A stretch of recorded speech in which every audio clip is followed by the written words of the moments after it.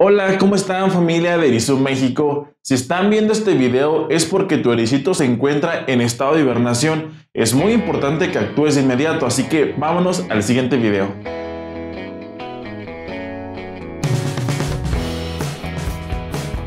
Es muy importante que sepas que en épocas de frío es demasiado común que los ericitos entren en estado de hibernación, pero también es muy riesgoso.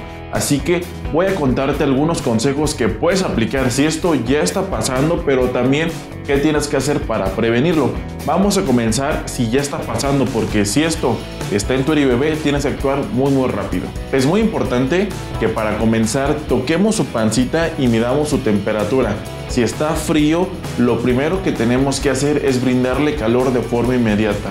Puedes hacerlo de distintas maneras. Una de ellas es la placa térmica una de ellas también muy rápida es una secadora de cabello a unos 20 centímetros para no quemarlo y darle calor de forma constante. También una opción muy importante podría ser calentar agua casi casi hasta que hierva, vaciarla en un topper que tenga paredes rígidas que no se vaya a doblar o se vaya a romper y poner el topper envuelto como en una toallita, una cobijita y dejar cerca tu ericito por irradiación, ese topper nos va a brindar calor.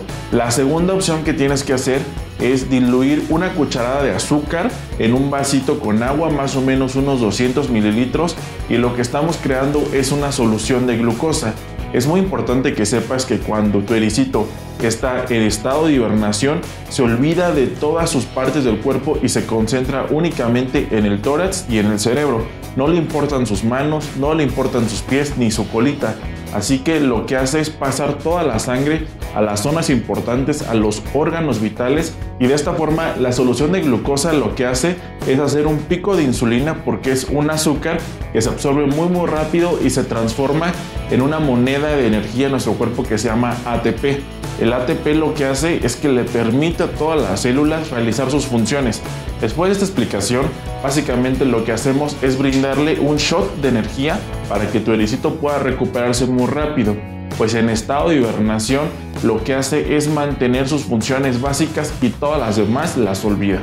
Después de todo esto, lo que te vas a dar cuenta es que después de unos 30 o 40 minutos de hacer el paso 1 y el paso 2, tu ericito va a empezar a moverse, va a empezar a caminar de una forma normal, pues sabemos que la enfermedad del erizo tambaleante podría incluso confundirse con la hibernación, pues el ericito no tiene las fuerzas suficientes para caminar de forma normal y se va de lado, como que se la vea. Es muy importante que una vez que pase todo esto, le des alimento. Sí, que le des alimento sobre todo alto en grasas.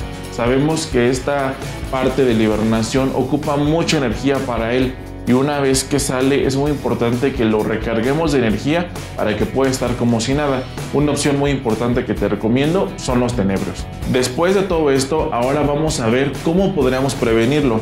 En esta parte es muy importante que consideremos que en épocas de frío como en México, el invierno llega en la parte de diciembre, noviembre, tengamos un hábitat un poco más preparado para el frío.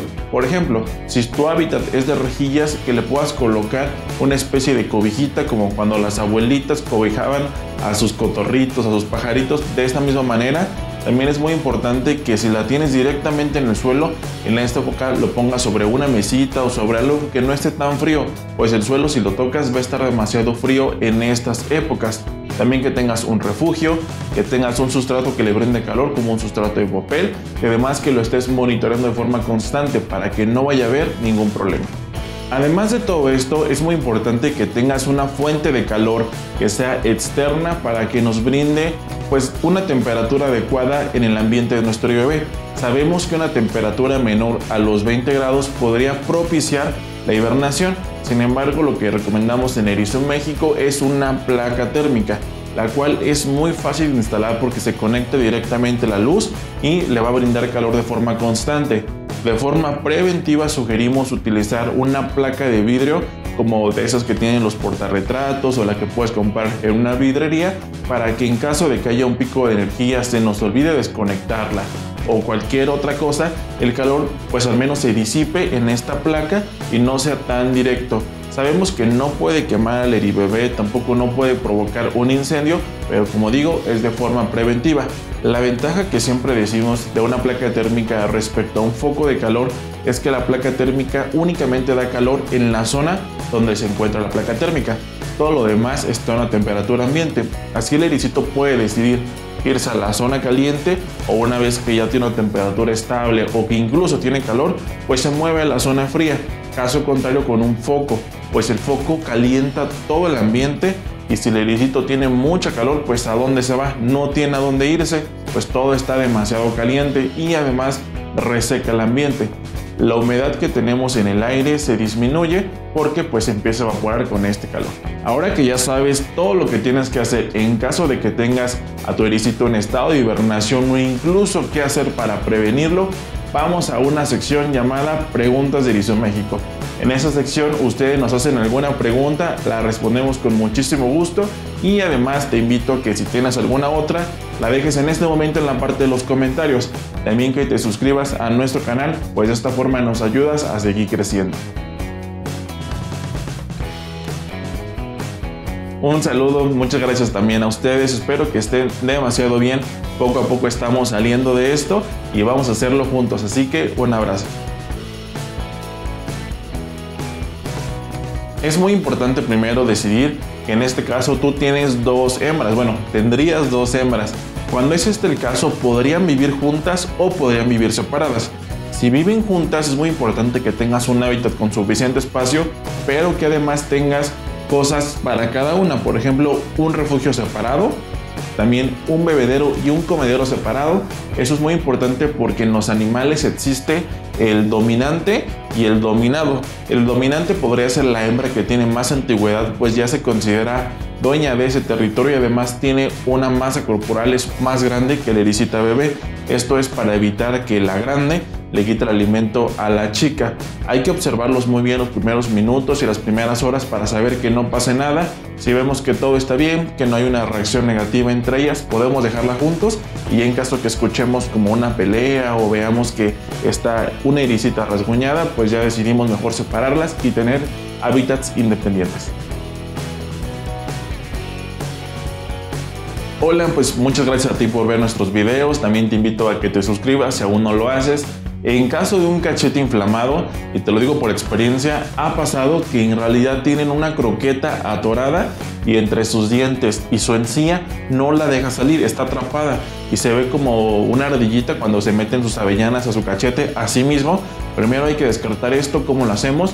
Vamos a abrir su hociquito de forma manual con nuestros dedos y vamos a revisar que no tengan nada obstruyendo. Si realmente es una hinchazón, es muy importante eh, llevarlo a un veterinario, pues podría ser una muela o un diente que esté en estado de putrefacción o que tenga alguna condición que haga que se inflame. Pudiera ser incluso un piquete de un insecto porque es una zona muy sensible. Así que si descartamos la primera opción de tener algo en la boca, tienes que ir a un veterinario. Ok, si tu ericito no quiere comer, es muy importante que revises que en su hábitat tengas todo lo necesario, que tenga un ambiente estable. Otro es que su temperatura esté calientita, que no se encuentre frío, pues podría ser estado de hibernación. Cuando están en estado de hibernación, pues no les importa nada más que mantener su temperatura. Y lo otro es que el alimento se encuentre pues en buenas condiciones y que además el adecuado que sea alimento que él está acostumbrado a comer. Pues es muy importante que si hacemos un cambio de alimento lo hagamos de forma gradual. A veces pasa que le damos la marca A y luego queremos darle la marca B, pero el ericito no le gusta y no está acostumbrado a la marca B, así que pues es muy difícil que haga esa transición. Lo que tenemos que hacer es hacerlo de forma gradual, poco a poquito de la marca nueva y más de la marca viejita y así poco a poco irlo aumentando para que el ericito se acostumbre a ese alimento. También pudiera ser incluso parásitos internos. La verdad es que pueden ser muchas cosas te recomiendo que visites a tu veterinario o incluso puedes consultar con nosotros. Tenemos un programa de asesoría para clientes, tenemos llamadas de 30 minutos o puedes incluso, si no lo compraste con nosotros, adquirirla por solo 200 pesos y te damos seguimiento con muchísimo gusto. Muchísimas gracias por tus halagos, nos encanta de verdad hacer estos videos, los hacemos con muchísimo gusto y son para ustedes. No todas las frutas son permitidas, de hecho ya tenemos un video llamado alimentos permitidos, donde te explicamos que algunas frutas sí se le pueden dar, por ejemplo, la fresa, la sandía, el plátano, y de esta forma puedes hacer como tu listita e incluso generar una dieta, porque ya tenemos también un video donde explicamos cómo hacer una dieta para tu bebé. También es muy importante que sepas que las frutas tienen mucho azúcar y los cericitos son como los niños como yo, bueno yo no soy tan niño, pero que me encanta el chocolate y pues mucho azúcar nos hace engordar. Así que si hace una alimentación bastante con azúcar, por ejemplo la fruta, te recomiendo que también lo acostumbres a hacer ejercicio. Ahora también queremos mandarles saludos muy especiales a ti que estás viendo este video, pero también a tres personitas que escogimos en la parte de los comentarios, así que vamos a leerlas. Una de ellas es Natalia Rodríguez, un saludo Natalia, también para No Seguí U, un saludo y también para Sofía Ángel. De verdad nos encanta que vean nuestros videos, que dejen sus comentarios y además por ahí en un video nos hicieron un comentario que si se nos había olvidado ya la dinámica en la cual ustedes adivinan el color del bebé. No se nos ha olvidado, pero hay veces que el video se hace un poquito largo. Así que en esta ocasión te lo pregunto. ¿Sabes qué color es este bebé? Déjalo en la parte de los comentarios. Por ahí podrán adivinarlo. Mi nombre es Alex Serrano y nos vemos en el siguiente Erizo Tip.